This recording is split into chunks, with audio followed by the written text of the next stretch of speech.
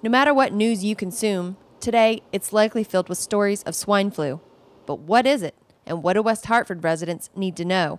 It's the flu, it's not necessarily anything life threatening, and so for most cases, uh, the usual rest fluids and uh, Tylenol is, is, is the best thing.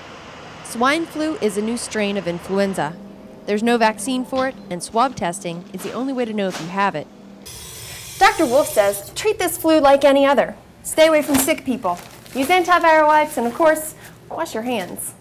Stephen Hewlett, Director of Health in the West Hartford Bloomfield District, oh says citizens shouldn't be alarmed, but aware. So it's not a function of if, it's certainly a, a when. It, it will be easily hours, days, and we'll have a positive case in Connecticut. West Hartford's two step pandemic plan is already in action.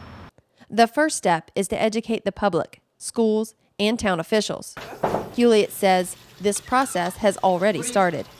The second step is community mitigation.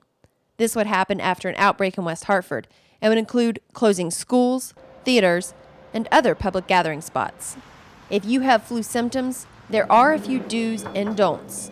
Rushing to the hospital if you don't need to be seen from a medical point of view is going to uh, cripple us if, if, if a lot of people come in and then we can't attend to most of the people that don't have the flu and don't have any other issues like that but are critically ill. And the hardest, I think, for us, especially in a tough economy, is to say, I'm going to stay home from work.